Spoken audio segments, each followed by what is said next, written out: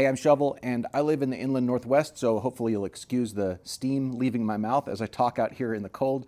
A couple months ago, I installed these LED headlights from Auto One LED in my Jeep Patriot, and one of the things I observed about them is the way they're manufactured, instead of dissipating the heat out the back of the bulb like most LED assemblies do, it's got a little fan and it distributes the heat that this thing generates inside of the assembly of the headlight. And I thought that might be a kind of interesting way of addressing the issue that LED headlights often have, where they just don't get hot enough to melt snow and ice off the front of the bulb.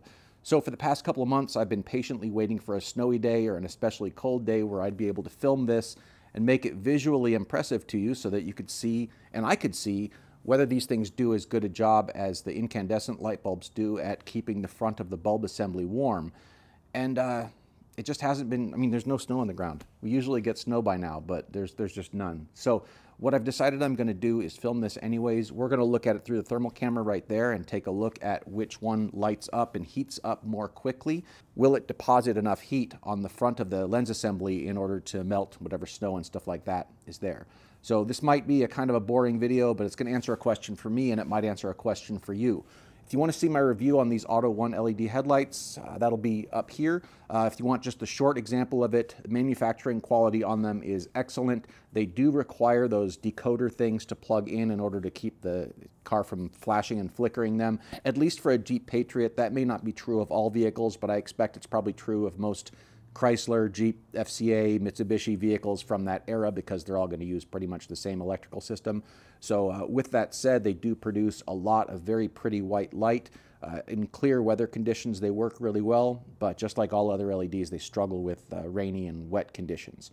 Let's go ahead and turn on the headlights. I'm also going to turn on the engine so that the battery doesn't die, and we're going to watch the headlights warm up.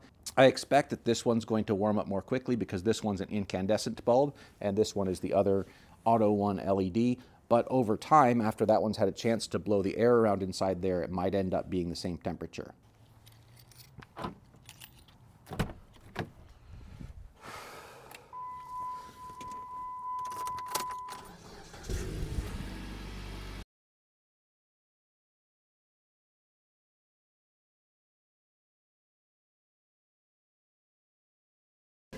What we can see at this point here is that this headlight is turning white or turning the kind of hotter temperature right there versus this headlight over here, which is still not getting as warm.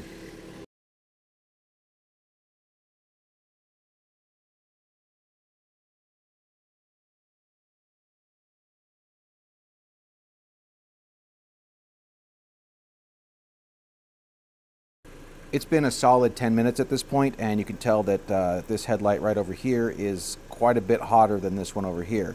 So that's kind of a, a damning thing for getting any kind of heat off of that. I'm going to walk up there and see if I can feel any subjective difference, but I think that the heat camera is giving us all the info we need. So the water on the front of that is liquid, and so if we take this, we can just move that around, and it feels physically warm. Like I actually am getting nice comfortable heat off of this, um, probably about body temperature.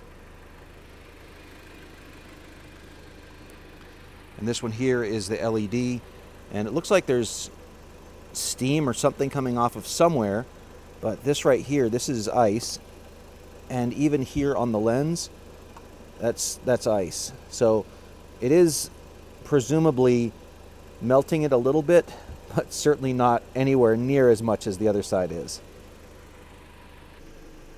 I think so far that's pretty much going to be conclusive. Obviously, after 10, 11, 12 minutes, we've got quite a lot more heat on the incandescent side than we do on the LED side, despite the fact that the LED should be depositing the majority of the heat that it actually makes inside of that headlamp assembly, just like the incandescent one does. So just for giggles, I'm going to turn on all the other lights. Every other light on the front of this is incandescent as well, and we're going to see what they look like under the thermal camera.